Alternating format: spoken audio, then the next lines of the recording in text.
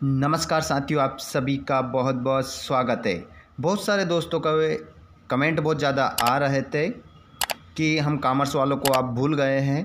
तो यहाँ पर हम लेखा शास्त्र का जो पेपर होने वाला है, कक्षा बारहवीं का, वार्षिक परीक्षा मध्य प्रदेश बोर्ड का। तो स्टूडेंट्स आ जाइए सभी लाइव क्लास में आप लोगों के लिए हम वीडियो लेकर आ चुके हैं। ये सेट यहाँ पर हम देखने वाले हैं ए सेट का पूरा सॉल्यूशन ए टू जेड सभी प्रश्नों का यहाँ पर उत्तर हम देखेंगे। तो जल्दी से सभी दोस्त एक बार इस वीडियो को अपने सभी दोस्तों को शेयर कर दो और चैनल को सब्सक्राइब करो ताकि आपको और भी जो वीडियो आएँगे, उनका नोटिफिकेशन मिल सके।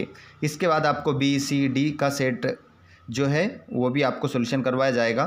तो आप सभी दोस्त चैनल को सब्सक्राइब करिए और शेयर करिए अपने दोस्तों को और वीडियो को लाइक नहीं करा है तो वीडियो को लाइक ज़रूर करिए। आइए स्टूडेंट्स हम स्टार्ट करते हैं पहले क्वेश्चन से। और इसका पूरा सॉल्यूशन हम देखते हैं। वीडियो को लास्ट तक ज़रूर देखिएगा। अच्छे नंबर अगर आप प्राप्त करना चाहते हो। चलिए स्टार्ट करते हैं पहले क्वेश्चन से। चलिए क्वेश्चन क्रमांक पहला। पूंजी का वे भाग जो कि अंशधारियों से वास्तव में प्राप्त कर लिया गया है, कहलाता है। तो ये कहलाता है साथियों प्रदत्त पूंजी। अगर इन ऑप्शनों में आप लोगों को अगर आंसर याद है तो आप भी लाइव चैट में इसका आंसर बता सकते हैं। अगला क्वेश्चन अंशों के हरण पर अंश पूंजी खाता डेबिट होगा तो खाता आपका होगा अंशों के याचिक मूल्य से, अंशों के याचिक मूल्य से। नेक्स्ट क्वेश्चन कंपनी के स्थिति विवरण का प्रारूप कंपनी अधिनियम 2013 की किस अनुसूची में दिया गया है। तो ये दिया गया है साथियों, अनुसूची तीन भाग एक में दिया गया है। नेक्स्ट क्वेश्चन आपका रहेगा, चौथा वाला औसत वसूली का संबंध है। तो औसत वसूली का जो संबंध होता है, वो होता है शुद्ध उदार बिक्री से। शुद्ध उदार बिक्री से इसका संबंध होता है। अगला क्वेश्चन है हमारा पांचवा। बेचे गए माल की लागत बीस हज़ार है व औसत स्टॉक आठ हज़ार है तो स्कंद आवर्त अनुपात होगा। तो स्कंद आवर्त अनुपात आपका, जो होगा साथियों, वो हो जाएगा आपका दो पॉइंट पाँच गुणा। ठीक है, ढाई गुना आपका हो जाएगा। अगला क्वेश्चन छठा, रोकड़ प्रवाह विवरण संबंधित है। तो रोकड़ प्रवाह विवरण जो संबंधित होता है साथियों, ये होता है ए एस थ्री से। प्रश्न क्रमांक दूसरा देखेंगे। रिक्त स्थानों की पूर्ति कीजिए। पहला क्वेश्चन है आपका, साझेदारी का दायित्व होता है।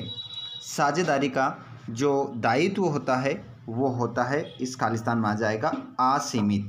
क्या हो जाएगा? असीमित आपका हो जाएगा। ठीक है? दूसरा देखेंगे।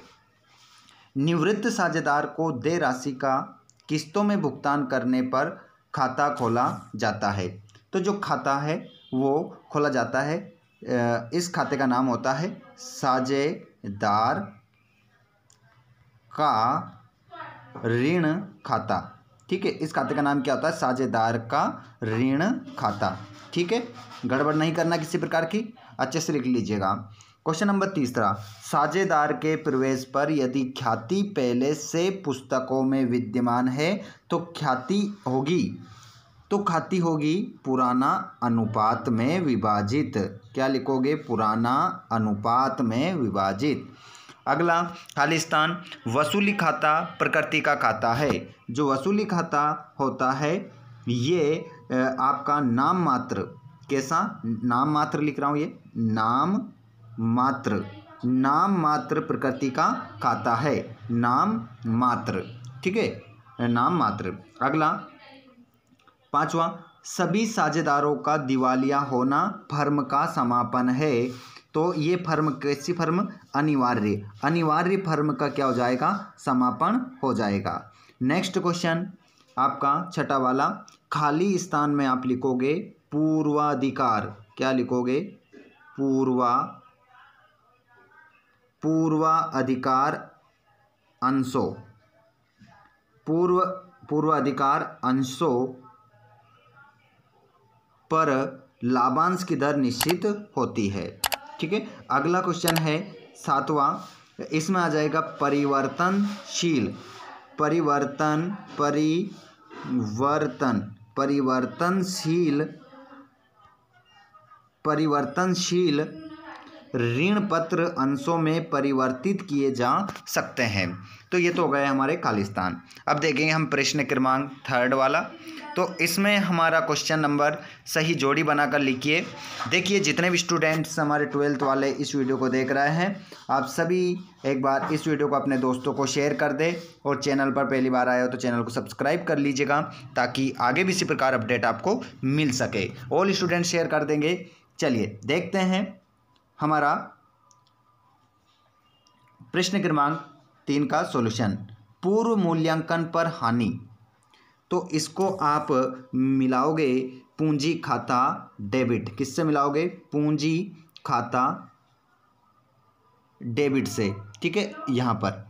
ऊपर से, नीचे वाले से। और औसत लाभ, सामान्य लाभ से अधिक क्या करता है? अधिलाभ करता है, ठीक है? तीसरा, सामान्य लाभ की गणना। सामान्य लाभ की गणना विनियोजित।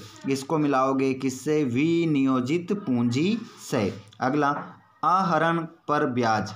आहरण पर ब्याज गुणनफल विधि से। कौन सी विधि से? गुणनफल विधि से। साझेदार का प्रवेश साझेदार का प्रवेश इसको मिलाओगे पुनर्गठन से, ठीक है? और ए एस छब्बीस ए एस छब्बीस को आप मिलाओगे ख्याति का लेखांकन, ख्याति का लेखांकन, ऊपर वाले से मिलाना है, ठीक है? अब हम देखेंगे सत्याफत्य। सत्याफत्य देखना है, गलती किसी प्रकार की नहीं करना है। देखिएगा पहला वाला, साझेदारी व्यवसाय का उद्देश्य वैधानिक होना चाहिए। बिल्कुल इसमें आपका क्या हो जाएगा? सत्य हो जाएगा। ठीक है, अगला देखेंगे। नए साझेदार के प्रवेश पर उसके द्वारा पूंजी लाना अनिवार्य है। जी नहीं, असत्य लिखेंगे इसको। अगला, ऋण पत्र अल्पकालीन प्रकृति के होते हैं। जी नहीं, दीर्घकालीन होते हैं यह सत्य हो जाएगा। अगला, चौथा, ऋण पत्रधारी कंपनी के वास्तविक स्वामी होते हैं तो ये भी क्या हो जाएगा आपका? असत्य हो जाएगा। अगला, फर्नीचर की बिक्री एक विनियोग क्रिया है। तो इसमें आपका क्या हो जाएगा? सत्य हो जाएगा। और गैर चालू संपत्तियाँ कंपनी के दीर्घकालीन विनियोग है। बिल्कुल सत्य। ठीक है स्टूडेंट्स, ये हो गया आपका सत्यफत्य अब हम देखेंगे यहाँ पर एक शब्द, एक वाक्य में उत्तर। जैसे कि आप यहाँ पर क्वेश्चन आपके है, साझेदारों के मध्य लिखित समझौते को क्या कहते हैं? ठीक है? तो यहाँ पर आप देख सकते हैं और स्थायी पूंजी पद्धति में पूंजी खाता सदैव कौन सा शेष प्रदर्शित करता है? ठीक है? और यहाँ पर आप देख सकते हैं। प्रश्न क्रमांक थर्ड का उत्तर। और ये फोर्थ का कंपनी के नाम को अनुमोदित कौन करता है? और संचय एवं आधिक्य को कंपनी के चिट्टे में किस शीर्षक के अंतर्गत दर्शाया जाता है। ये क्वेश्चन आपके साथ हैं। इन क्वेश्चनों के आंसर आप ये यहाँ पर स्क्रीन पर देख पाते हैं। देख लीजिए, ठीक है? अभी मैं इनके आंसर आपको थोड़े क्या है, बड़े हैं तो अभी मैं लिख कर बता रहा हूँ आप लोगों को, ठीक है? वीडियो को लास्ट तक देखिएगा। अभी तक वीडियो को लाइक नहीं करा है तो वीडियो को एक लाइक ज़रूर करिएगा। साथ ही अपने फ्रेंड्स को शेयर कर दो, क्योंकि साथियों, अब आपको सभी क्वेश्चन नंबर छः से लेकर तेईस तक संपूर्ण सोल्यूशन करवा रहा हूँ, ठीक है? देखिए, एक बार क्वेश्चन देख लीजिए, सभी क्वेश्चन आप पढ़ लीजिए स्क्रीनशॉट ले लो पीडीएफ आपको टेलीग्राम पर मिल जाएगा। इन क्वेश्चनों के उत्तर मैं आपको बता देता हूँ, ठीक है? तेईस तक का पूरा सॉल्यूशन आपको मिलने वाला है। तो ये रहा आपका क्वेश्चन नंबर तेईसवा। अब देख लीजिए इनके उत्तर। अभी जो प्रश्न मैंने अभी आपको पाँचवा बताया था, प्रश्न नंबर पाँच में आपको सात क्वेश्चन मैंने बताए थे। सातवां क्वेश्चन का पहले का आंसर हो जाएगा, साझेदारों के मध्य लिखित समझौते को साझेदारी समलेख कहा जाता है। ठीक है? दूसरा वाला। स्थायी पूंजी पद्धति में पूंजी खाता सदैव क्रेडिट मतलब जमा, शेष प्रदर्शित करता है। तीसरे वाले में, साझेदारी समलेख के अभाव में साझेदार तो यहाँ पर आप स्क्रीनशॉट लेकर अगर इनको पढ़ लेना। अब क्वेश्चन नंबर हमारा जो छठा था, उसका उत्तर देख लीजिए। ये छठे का उत्तर है, ठीक है? उसके बाद आपको अथवा वाला भी देख सकते हैं। ये आठवें का उत्तर है, ये नवे का उत्तर है, ठीक है? पूरा सॉल्यूशन के साथ ये दसवें का उत्तर, अथवा वाला भी आपको मिल रहा है, ये ग्यारहवें का उत्तर, ये बारहवें का उत्तर। अच्छे से पीडीएफ आपको टेलीग्राम पर मिल जाएगा, तेरहवा, अथवा वाला भी देख लीजिए। ये चौदहवा का उत्तर पूरा सॉल्यूशन के साथ, ठीक है?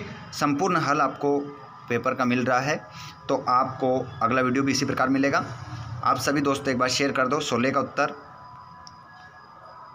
अतो वाला ये सत्रह का उत्तर। देख पा रहे हैं आप स्क्रीन पर, ये अठारह का उत्तर। आगे भी इसी प्रकार वीडियो लेकर आने वाला हूँ, उन्नीस का उत्तर देख रहे होंगे आप। ये बीस का उत्तर। अच्छे से वीडियो को रोक रोक कर देख लेना पूरा। इक्कीस का उत्तर। ये बाईस का।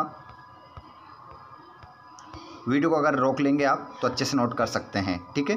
और ये पीडीएफ मैं आपको टेलीग्राम पर दे दूँगा। ये तेईस का उत्तर। ये मतलब पूरा हल आपका हो चुका है पेपर का, ठीक है? पूरा सॉल्यूशन। ए टू जेड क्वेश्चनों के उत्तर आपको मिल गए। ये एक हमारा रह गया था आठवा, जो नीचे आपको बता दिया है, ठीक है? ये पूरा हल हो गया साथियों हमारा पेपर का, जो लेखा शास्त्र का पेपर था। अब दोस्तों आप सभी की ज़िम्मेदारी बनती है कि आप इस वीडियो को अपने सभी दोस्तों तक ज़रूर पहुंचाइएगा। वार्षिक पेपर में अच्छे अंक प्राप्त करना है तो आप सभी दोस्तों को एक बार शेयर कर दीजिएगा। 2023 का जो पेपर है आपका बहुत अच्छा आपका पेपर जाएगा। साथियों, मिलते हैं हम नेक्स्ट वीडियो में। आप इस वीडियो को कहाँ से देख रहे हैं, कमेंट बॉक्स में ज़रूर बताइएगा। और आपका नाम क्या है, कमेंट बॉक्स में लिखिएगा। वीडियो को लाइक नहीं करा है तो वीडियो को लाइक ज़रूर करिएगा, क्योंकि बहुत ही मेहनत करके ये वीडियो बनाया है साथियों। बहुत सारी समस्या आती है वीडियो बनाने में, फिर भी आप लोगों के लिए वीडियो बनाया गया है तो आप सभी स्टूडेंट्स एक बार शेयर कर दीजिएगा। ठीक है? मिलते हैं हम नेक्स्ट वीडियो में। धन्यवाद।